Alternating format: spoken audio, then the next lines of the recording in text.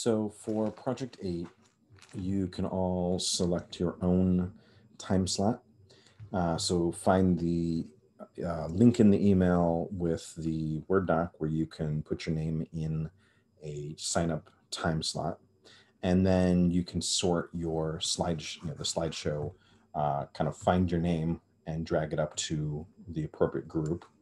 Uh, so for example, if Bianca was in group one, can drag her up there um, and then just go to file and uh, oh, sorry, it's the plus symbol here for new slide. And if you click on the downward pointing arrow, you can select blank, which is the way I've normally built the slideshows, uh, and drop in however many uh, you need, uh, which I think should only be uh, three. So you can show first the artist's original.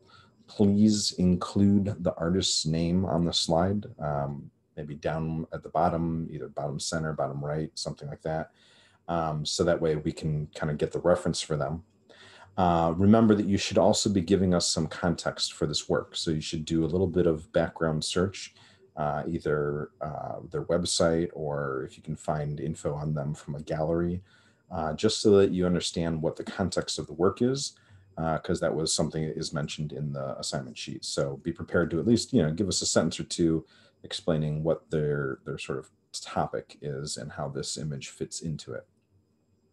Uh, then drop in the first slide, that image, the original, drop in the second slide, the version you made so we can see it large. And then I think what's most effective is if you, on the third slide, kind of like we've done in the past, but just put in the two images that you actually, you know, the original and your version um, uh, that slide, I don't care about having text on to, to give us a reference to them. It, it might actually be more uh, easier for us to kind of uh, talk about them if they're as large as they possibly can be. Um, I mean, give a little space between them uh, and particularly between them and the edge of the frame. So they're not kind of, you know, it's not distracting if they're butted up next to each other. So give a little breathing room, um, but make them relatively as large as possible.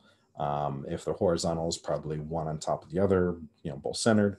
Uh, if they're uh, verticals side by side, uh, approximately the same size, you know, left, right would make sense. So this is kind of up to you to sort of organize the slideshow to, uh, you know, make it look clean and, and organized.